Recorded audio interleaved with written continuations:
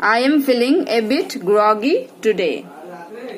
I am feeling A bit, a groggy today. uh, gro, a bit, a bit bit groggy today. Groggy. I am with. I am feeling with.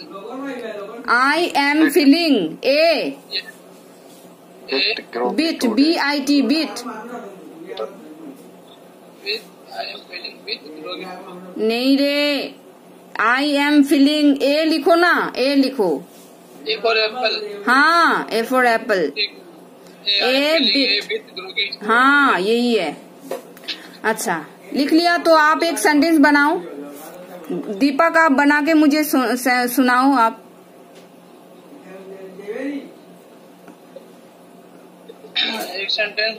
Hmm. Do you feel do you feeling groggy today क्या बोले? फिर से बोलो आप। Do you feeling groggy today do you feel do you के बाद feeling ING नहीं आएगा? Do you feel groggy today क्या आपको अच्छा नहीं लग रहा है आज?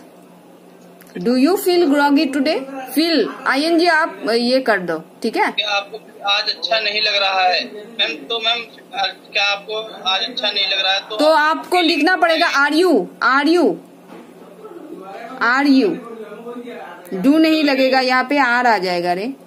मैम जैसे क्या मैंने उससे सवाल बोले डू यू फीलिंग फीलिंग अगर आप डू डू लगाना चाहते हो तो ये आ जाएगा डू फील आ जाएगा। और अगर आप आर लगाओगे तो आपके आईएनजी आ जाएँगे फीलिंग के बाद फील के बाद।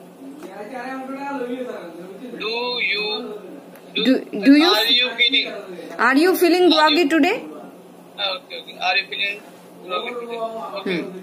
Harshit आप बोलो कोई sentence if you feel groggy, it means you are losing losing trust अगर तुम कमज़ोर महसूस कर रहे हो तो इसका मतलब एक तुम अपना विश्वास मतलब तुम्हारा अपने पर विश्वास कम होता जा रहा है।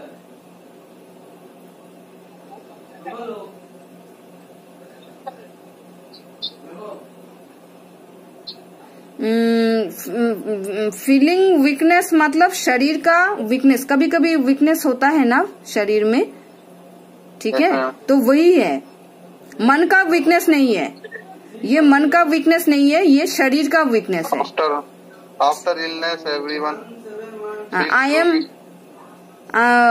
she is feeling groggy today या don't be groggy today you have to move on ऐसा भी आप लिख सकते हो ठीक है? ओके अच्छा नेक्स्ट आप लिखो tickled pink tickled pink T I C K L E D tickled pink P I N K pink ma'am chicken C H C H I हाँ क्या बोले? ये कर दिया गया। वेरी ये ये हाँ।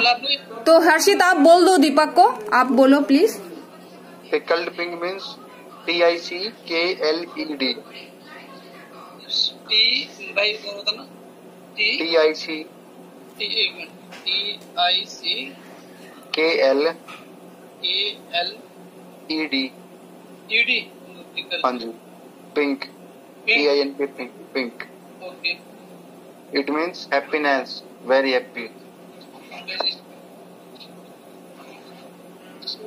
today I am tickle pink very good I am very I am tickle pink today ऐसा भी आप लिख सकते हो। Okay your answer is your sentence is correct please Harshit your answer your sentence same ma'am okay आप दोनों आज खुश क्यों हो? आप दोनों आज खुश क्यों हो इतना? क्या बात है? कोई गुड न्यूज़ है क्या? यस मैम हम्म गुड न्यूज़ तो होगा ही। होना चाहिए भी। अच्छा ठीक है। और एक लिखो आप D U N G dung dung D U N G हाँ डंग डंग को लिखो। D U N G dung dung means आपने लिखा dung Harshit? Yes ma'am yeah you write the meaning of it something you can something you can something you can yeah something you can dip D I P dip in a liquid ma'am something you can means something you can dip in a liquid something you can dip D I P dip dip. Dip. D I हाँ मतलब पानी में भिगो के भिगोना मतलब पानी या चाय इसमें बिस्कुट हम भिगो भिगो के खाते हैं ना Okay, okay. तो उसको कहते हैं डंग तो आप answer today I am eating biscuit in uh, in the milk dung. कैसे होगा? आप पहले सुनो तो सही। आई लाइक टू लिखो आप sentence I like to dung biscuits into tea I like to dung D U N G I like to biscuit अरे बाप रे। I like to dung I like to dung. Biscuits B I S C U I T S biscuits into tea मैं चाय पे biscuit डुबो के खाना पसंद करता हूँ। हाँ अभी आप आप बनाओ। दीपक आप बनाओ।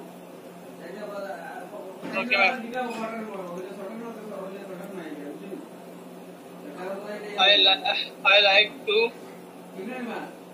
I like uh, I I like to dung. I like to dung.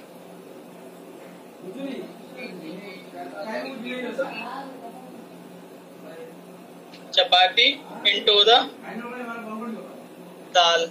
Into the दालिया वेरी गुड हर्षित आप बोलो I don't like to dunk biscuit into milk. Very good very good. Your sentence is correct. So these are the sentence. You just uh, make a sentence I, uh, we we teach on again okay? Make a sentence. Okay? Okay. hmm. So that's all for today. Thank you